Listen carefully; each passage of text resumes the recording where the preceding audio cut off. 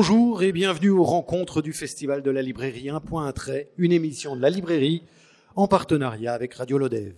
De Cassos à la pension complète, presque un bas de trip, parce que demain c'est loin, vous finissez par de petits boulots comme CPE, conseiller pédagogique d'éducation, ou vendeur de t-shirts ou de shit, à moins que cela soit votre capacité d'imitation de François Feldman et de la maîtrise du théorème du kiwi, qui vous mène enfin à l'écriture. Cette biographie, loin d'être exhaustive, révèle votre capacité à relever les défis les plus fous, comme d'avoir réussi à venir de Besançon jusqu'à l'Odève. Jackie Schwartzmann, bonjour. Bonjour. Alors vient de paraître trois ouvrages, coup sur coup. Abémus Bastard, une bande dessinée dont vous avez écrit le scénario, paru chez Dargaud. Le théorème du kiwi, paru à l'école des loisirs pour les enfants. Et Shit, paru aux éditions du livre de poche. La banlieue est votre décor. Dans le roman de Shit, nous découvrons la double vie pleine de bonnes intentions de Thibault, ce CPE habitant le quartier de la Planoise à Besançon.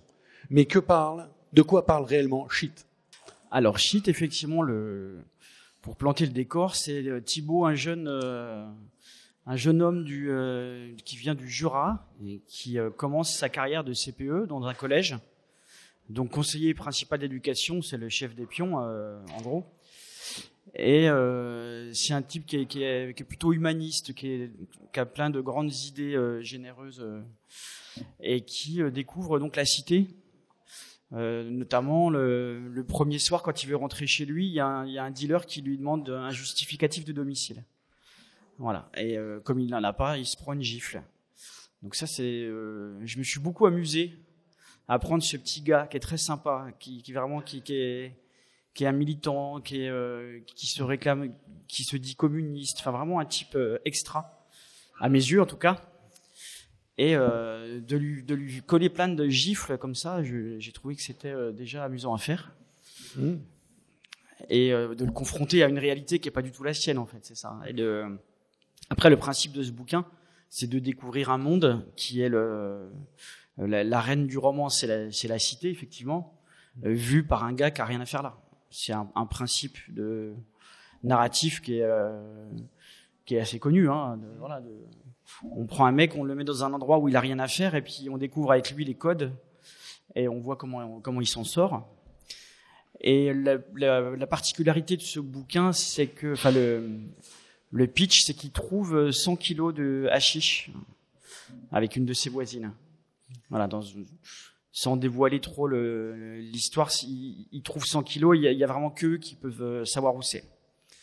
Donc la question est qu'est-ce qu'on fait quand on a, euh, quand on est à la tête d'un tel pactole, puisque c'est en gros il y en a pour 700 000 euros. Voilà. Donc il, prend sa feuille de salaire de l'éducation nationale, il, regarde le prix du le prix du shit au gramme et euh, il prend une décision assez rapide il est temps d'augmenter les salaires des enseignants. Voilà, il est temps de. Ou du monde éducatif. Alors vos ouvrages portent aussi un regard critique sur la bêtise des gens. La commission menu du lycée, alors cette fois-ci on va le lire aussi, ou le rêve du succès individuel fantasmé bafouant l'ascenseur social. Donc c'est une, euh, pour vous expliquer, il y a une commission menu dans un collège où euh, on décide bah, des menus de la cantine. Voilà. Donc il y a l'intendant du collège, il y a euh, un représentant du bureau d'avis scolaire, il y a des représentants des élèves, euh, voilà. Et donc on débat sur la bouffe et je sens que je vais voilà. voilà. Et donc le, sa collègue intendante est euh, végane, euh, militante euh, végane. Et euh, pas lui. Pour l'emmerder, je propose régulièrement que l'on mette des steaks tartare au menu. Roger, le cuisinier du collège, qui n'a pourtant pas fait beaucoup d'études, comprend tout de suite que je plaisante. Elle, non, jamais. Aujourd'hui encore, elle veut faire de cette réunion professionnelle une tribune. À ses yeux, nous sommes des monstres parce que nous incitons les enfants, l'humanité de demain, à manger leurs semblables. Un steak haché n'est pas un semblable, Sophie. Les enfants ont besoin de repas carnés, ils sont en pleine croissance. Alors Thibault, je t'arrête tout de suite, on trouve des protéines partout, pas seulement dans la viande. Le problème, c'est pas les protéines, c'est le fer. Pardon, tu t'y connais, toi, maintenant? J'ai entendu un pédiatre sur France Q, il affirmait que les enfants doivent avoir au moins deux repas carnés par jour de 0 à 18 ans. Ah oui, parce qu'il est pédiatre, il a raison. Ben oui. Il a fait médecine, toi tu manges des graines. Voilà. C'est comme ça. Ouais. Alors c'est, euh, je suis désolé euh, Pour tous les pour véganes. les, les véganes qui pourraient être présents. C'est devenu un peu un tic, de, un gimmick. J'ai- je, je- c'est mon, mon côté sale gosse, euh, petit con mal élevé. Je, ach- dans tous mes romans, je fais un truc sur les véganes. Voilà. J'ai d'autres euh, marottes comme ça. Et ça me vaut euh, quelques engueulades régulièrement, notamment dans ma famille. À travers ce- cet extrait, mais sur les autres que je pouvais aborder aussi, il y a, puisqu'il y a le fameux explication sur le succès individuel fantasmé, bafouant l'ascenseur social. Vous parlez de l'ascenseur social. Que permet le roman? Et surtout vos types de romans. Le roman en général? Ouais, et le vôtre en particulier. Ah, je sais pas. Franchement, c'est une question. euh, Moi, je, je, je me dis que déjà, euh, si mes romans apportent un, un divertissement, je, je suis déjà euh, ravi. Un- si ça peut être un bon divertissement, si, si on peut apprendre des choses au passage et puis apporter deux trois réflexions pas trop, un, un tout petit peu pertinentes, j'ai l'impression d'avoir déjà rempli rempli mon rôle. En tout cas, moi, je je crois pas à, à un rôle de la littérature euh, vraiment supérieur à ça. Je, je pense pas que des gens changent après avoir lu un livre. Enfin, euh, quelqu'un qui est méchant, euh, il peut lire tous mes bouquins dix fois, il va rester méchant. J'en suis j'en suis assez persuadé. Et si la littérature devait changer le monde, je pense que ce serait déjà fait. Victor Hugo est passé par là. Enfin, il y a eu quelques grands auteurs et ça n'a pas changé grand chose à l'humanité, j'ai l'impression. Donc euh, voilà, j'ai moi j'ai une, approche très euh, très hum- humble, ou euh, de, de la littérature et en tout cas de, mes bouquins. Mais ce qui n'empêche pas d'avoir des d'avoir des, combats, des, des, agacements, des colères dans les livres. Hein. Parce qu'il y en a plusieurs à travers cet ouvrage avec les différents personnages. Là, on a pris l'exemple de Sophie sur les menus scolaires, mais il y en a de nombreux autres. Et les contradictions qui se font parfois entre idéologie et réalité, par exemple la confrontation qu'a Thibault entre son, son humanisme et la réalité économique de vendre 100 kilos de shit, les questions du lien au travail, puisqu'il y a aussi cette relation avec euh, le frère de, de, de, de Thibault, Oui. qui tient un magnifique restaurant. On a mangé à midi d'ailleurs. Et en cela, quelles sont les réflexions qui résonnent dans, dans vos romans et qui font écho à notre société capitaliste, puisque ce que, vous critiquez parfois aussi, en quoi ce sont ces réalités qui nous entourent, qui inspirent vos ouvrages? Bah là, dans, ce roman, donc, c'est euh, un type normal qui devient dealer, en fait, c'est ça. Et euh, je, suis parti d'un- constat hein, euh, que c'est dans ces quartiers qu'on génère le plus de pognon en France. Il y a un argent euh, qui est gagné euh, grâce euh, à la drogue, et c'est aussi les, endroits où les gens sont les plus pauvres. Donc voilà, je me suis dit tiens, moi j'ai le pouvoir dans la fiction de réparer cette injustice. Parce que oui, ce que j'ai pas dit, c'est que mon, CPE, évidemment, étant communiste, il ne vend pas du shit pour, garder l'argent pour lui. Il redistribue à tout le quartier. Voilà. Et donc et aide euh, euh, ceux qui sont en difficulté, en réelle difficulté. Voilà. Il y a une petite étude pour savoir qui mérite d'être aidé ou Mais pas. oui, il se pose des questions avec sa voisine qui elle, est comptable d'une petite PME. Ils se disent mais euh, euh, on donne à qui? Est-ce qu'il faut récompenser au mérite ou euh, on fonctionne de besoin. l'âge, du genre? Qu'est-ce qu'on donc ils créent carrément des un peu des ministères. Voilà, ils donnent, ils aident un peu des projets culturels. De... Et ce que, ce que je me suis beaucoup amusé à faire, surtout avec ce personnage, c'est que euh, il, il, entre dans un paradoxe, c'est-à-dire que pour pouvoir aider euh, les, les pauvres de son quartier, bah, il est obligé d'être d'un super entrepreneur. Voilà. Et donc c'est, et il se transforme en mec euh, il commence à réfléchir en termes de, marketing, de, de publicité, de, de rendement. voilà. Il devient ce qu'il déteste pour la bonne cause, et c'est ça un peu son, son dilemme qui traverse tout le, tout le bouquin. D'ailleurs, sa, sa voisine lui dit à un moment, elle lui dit, mais Thibaut, mais t'es de droite en fait. Et voilà. Et pour lui, c'est une insulte, mais euh, mais effectivement, il se transforme un peu, voilà, Un communiste de droite. un communiste de droite. Ouais, il, a- il invente un. Mm. Ah ouais, c'est pas mal ça. Tiens. C'est euh, un personnage d'Antonin Varenne dans, dans son livre Le vieil homme, enfin sur la piste du vieil homme. Il, Ah, d'accord. Il le traite de communiste de droite. Communiste de droite. ouais. Bon. Qu'est-ce qui vous agace le plus la, la, salade, la salade de tofu à la cantine ou les dealers qui ne redistribuent pas leurs bénéfices? Les dealers qui. euh, non, non, mais c'est vrai en plus, les, les dealers sont euh, euh, n'ont qu'un seul projet, c'est l'argent. Enfin, euh, ils veulent avoir des, des sacoches Dior et des Ferrari. Bon, bah, c'est c'est un projet de vie qui euh, que je trouve bon déjà euh, pas très intéressant. Et c'est vraiment le là le le libéralisme sauvage poussé à l'extrême. Il n'y a aucune règle, c'est la loi du plus fort, euh, uniquement pour l'argent. Donc ça, moi, c'est des comportements qui me qui me plaisent pas. Et il y a quand même quelques cas où des, dealers de quartier redistribuent un peu de pognon autour d'eux. Mais c'est pas par altruisme, c'est pour s'acheter une, une tranquillité pour que les gens du quartier ne les, ne, les- rejettent pas, quoi. Alors, votre description de la banlieue à travers les paroles de Samia, directrice d'une association d'aide de ce quartier-là, confronte les différents points de vue. Est-ce qu'une, est-ce que c'est pour vous aussi une façon de remettre en perspective le regard du lecteur sur ces quartiers-là Oui, de donner, la, parole à plusieurs euh, voix, euh, à des voix différentes, ont une analyse différente euh, du quartier.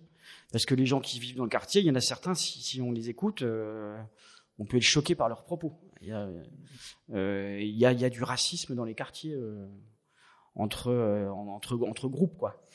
Et euh, moi, ce que j'ai voulu faire, c'est essayer de, quand même, de, de, de décrire, de faire une photographie de Planoise, ce quartier, en, c'était en 2021, enfin c'est maintenant le plus réaliste possible. Et euh, ben, je me suis d'ailleurs euh, rapproché d'une d'une vraie association de soutien scolaire qui s'appelle Paris à Planoise. Bon, je l'ai appelé Avenir, mais c'est les mêmes. Mhm. Qui m'ont fait une sorte de euh, une, petite remise à jour de mon logiciel euh, planoisien. C'est mon quartier. Hein, j'ai grandi là-bas. Je suis, je né à Planoise et euh, donc elles m'ont effectivement décrit un quartier qui a énormément changé et elles m'ont dit que, elles m'ont, carrément dit le planoise que tu as connu est mort, c'est, terminé. C'est beaucoup plus violent, c'est et pour résumer, elles m'ont dit c'est violence, conju- violen- violence conjugale, alcoolisme, euh, chômage, euh, et par là-dessus vous rajoutez des points de deal qui rapportent euh, un argent monstrueux. Euh, vous secouez, ça donne, euh, ça donne cette cité quoi. Et elles m'ont dit un truc qui, m'a choqué, enfin choqué, non, qui m'a interpellé. Elle m'a dit nous on est des on est des gens euh, qui elle vit euh, dans un village à côté. Elle m'a dit j'ai l'impression qu'on est des frontaliers quand on vient travailler le matin. Hmm. Euh, c'est le sentiment qu'elle a. Comme le, le- plus moi je, je suis à côté de la Suisse donc euh, on a plein de frontaliers, on sait ce que c'est. Et euh, donc elle m'a dit voilà nous on est des parce que Planoise est autonome, il y a, il y a une antenne euh, Pôle Emploi et il y a un hôpital. Ils sont bon ça c'est une blague. Il y a d'autres choses mais mais les, les gens de Planoise peuvent ne jamais sortir de Planoise. D'ailleurs, ils le font peu. Et elle, elle avait ce sentiment vraiment d'être un peu. elle, était- elle était gênée de, de, de cette situation de, frontalière.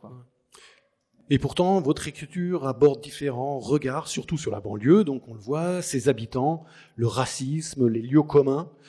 Euh, je repensais euh, à l'argument euh, du chauve. Il refute la calvitie. Je ne suis pas chauve puisque j'ai une barbe. Je décide donc du vrai.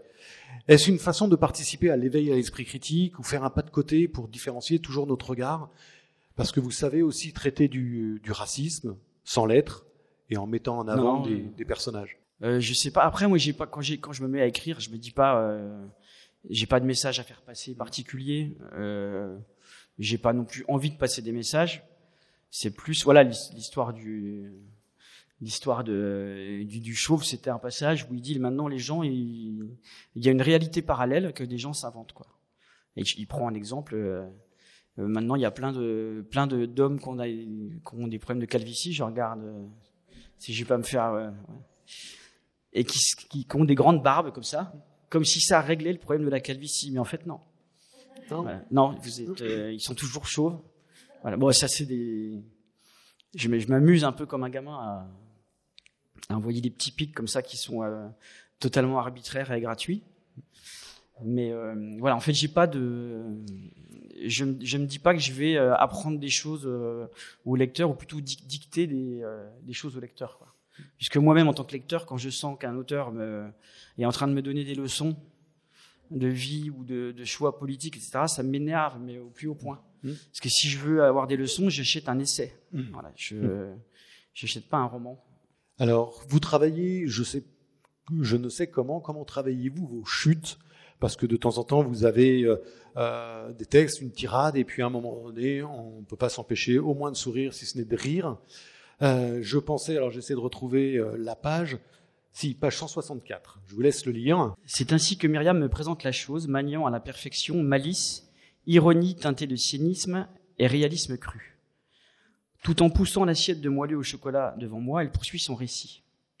Maria Mendes, fille aînée d'une famille de la rue de Picardie, brillante lycéenne, boursière, ambitieuse, est à Sciences Po Paris. Elle galère. Elle vit dans une pièce aveugle d'une dizaine de mètres carrés, en sous-sol, dans une cave. Dans la capitale, on appelle ça un logement. Dans la vraie vie, on dit clapier. Les murs en pierre, à l'état brut, assurent une humidité de tous les instants et font de sa garde-robe une espèce d'extension moisie d'elle-même. Un tuyau en PVC de 20 cm de diamètre traverse cette charmante petite cellule médiévale. C'est le tuyau qui relie tous les appartements de l'immeuble au tout à l'égout. Sans le savoir, à chaque fois qu'un habitant tire la chasse, il salue Maria d'une certaine façon. Elle entend la merde des gens. Parfois, elle se demande si c'est pire ou mieux que de la sentir. Elle ne sait pas. Donc ces chutes, comment elles viennent? Comment elles se travaillent? Bah, je sais pas. Moi, c'est euh... là pour le coup, moi, j'ai un ami qui vit à Lyon, qui est en, euh, c'est peut-être mon plus vieux pote euh, sur terre, qui est, qui a- qui est toujours en difficulté euh, financière parce qu'il est peintre, Euh, pas peintre en bâtiment, il est euh, artiste. Et il vit dans une espèce, de- il loue une espèce, une espèce de cave, un squat, et il a effectivement un, tuyau avec la chasse d'eau de tout l'immeuble. Et ça m'a toujours marqué. quoi. Donc c'est un clin d'œil. Enfin, non, mais ça rend bien compte. On, on, on comprend tout de suite l'état des finances de cette jeune femme. De, quand on commence à avoir des, des tuyaux en PVC dans le salon, euh, c'est, pas bon signe. Quoi. Et Maria, je vous salue Maria, c'était euh, votre combat contre Dieu, j'imagine Voilà, exactement. Alors, l'éducation, les banlieues, les dérives de la société, vos romans à l'humour euh, assumés mettent en avant l'humain et de son inutilité. Car Dieu l'a raté, dites-vous, page 195. À sa capacité de réussir, comme à Besançon, une entreprise comme LIP, pour faire écho au combat du Larzac, dont on entendra tout à l'heure euh, le dessinateur de la vie de cette période. C'est quoi votre combat? À moi, euh, euh, non, j'ai pas de combat, mais vraiment. Non, c'est euh, ou divertir, voilà. euh. Non, non, j'ai pas de, j'ai pas de, de combat euh, particulier. Je réfléchis. Il y a un truc qui m'est venu Ouais. dans la, ques- pendant la question, j'ai oublié. Oui, le, que l'animal, que l'homme est un animal raté. Oui. Ouais, mais je trouve qu'on est, euh, on est, on est des êtres tellement faibles. euh, on doit dormir tout le temps, on doit manger tout le temps euh, pour être en forme trois heures par jour. Enfin, on est sûr de mourir, on est hyper vulnérable. je, je vois pas trop le. Enfin, c'est une réflexion que je, me- que je me fais souvent. Voilà. Alors, comment écrivez-vous? Parce que j'ai vu que la page 184, euh, à un moment donné, vous décrivez un groupe de musique entre Yves Simon et, Yves Simon et ABBA. Quel est ce groupe qui vous a enchanté? Ah, Catastrophe. c'est catastrophe. Ouais. Bah, en fait, c'est le groupe Catastrophe que j'ai entendu euh, par hasard à la radio une fois. Et euh, non, c'était pas, je sais plus. Bon, bref, j'ai pris connaissance de ce groupe. Et euh, j'ai été invité à l'é- l'émission de- de- d'Antoine Decaune sur Inter. Et il fallait choisir un morceau Mm. euh, que j'aimais bien. Donc j'ai mis le morceau de Catastrophe. Et la chanteuse était dans sa voiture en train d'écouter France Inter. Voilà. Donc on s'est connecté comme ça. Elle s'appelle Blandine Rinkel. Elle est autrice également euh, chez je sais plus qui. Oui. Voilà. Et donc on a Absolument. une petite connexion. Qui est déjà venu à l'ODEV d'ailleurs. Voilà. Et En donc plus. ils ont catastrophe a fait un concert à Besançon auquel je suis allé avec euh, femme et enfant. Voilà. Je vais vous raconter toute ma vie en fait. et, euh, et du coup, mais non, mais en fait moi vraiment, je j'ai une obsession. Je pense que les auteurs on est tous pareils. Tout ce que je vis est prétexte ou matière pour mon bouquin. Le celui en cours, un prochain. Je suis tout le temps en train de prendre des notes. De, je m'envoie des mails en fait. Ouais, comme ça. En plus, j'ai l'impression d'avoir plein de potes. Parce que je reçois plein de messages, mais euh, c'est un peu euh, schizophrénique. Mais, euh, Ah, et fait tout. Et bah, un, con- un concert de catastrophe, je vais forcément le, le, le mettre dans un bouquin parce que je, un bouquin c'est copier la vie en fait. Voilà, c'est c'est reconstituer du réel, de la vie, un truc de tous les jours. Et ben un concert de catastrophe à Besançon, c'est un truc de tous les jours. Voilà. Hier, on a visité ensemble la manufacture, la manufacture de, de tapis. Euh, à euh, et ben ça, ce sera dans un bouquin, c'est certain. C'est un métier tellement unique, particulier, auquel on ne pense pas, et qui en plus a un rendu euh, euh tellement euh, magnifique que je vais forcément l'utiliser. Donc euh, voilà. Et ça sera l'occasion de vous réinviter avec grand plaisir. Tout à, fait. Ce moment-là. Mais c'est vrai que c'est un peu une une démarche qui d'ailleurs est, est saoulante pour l'entourage. ma, ma, femme me dit régulièrement, euh, en fait, t'es pas là. Ouais. Parce que je, euh, elle me voit m'envoyer mes messages là, mais euh, il y a tellement de, même des, dialogues, des choses comme ça qui, qui, il faut juste les entendre et enfin, savoir écouter ou vouloir écouter. Il y a, il y a peu de temps, j'étais à Strasbourg dans une, pour une rencontre en librairie. Je marche dans la rue, je croise deux, deux préados, je sais pas, 14-15 ans ils étaient en train de discuter et il y en a un qui, était, qui expliquait à l'autre, je sais pas de quoi il lui parlait, mais il parlait d'un truc vraiment nul. Et il lui a dit, bah, je sais pas, tu vois, c'est comme Mad Max, mais sans les bagnoles. et alors, ça, mais c'est une réplique. J'ai failli l'arrêter pour le remercier. Et euh, c'est dans, c'est dans le bouquin que je suis en train de faire. Ouais, trop bien. Et c'est trop beau pour laisser passer. Euh... c'est clair. Avant de conclure, une dernière question philosophique. Dans votre livre Demain c'est loin, vos idées de slogans sur les t-shirts qu'invente François Fellman, c'est venu d'où?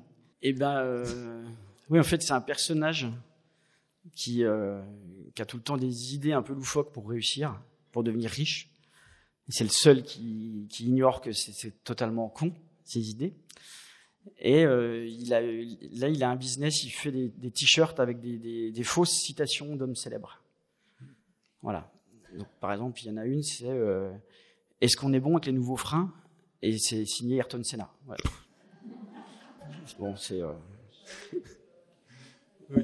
Il y avait, oui, Charlie Hebdo. Il y avait Bonjour, c'est bien ici, Charlie Hebdo, et c'est signé les frères Kouachi.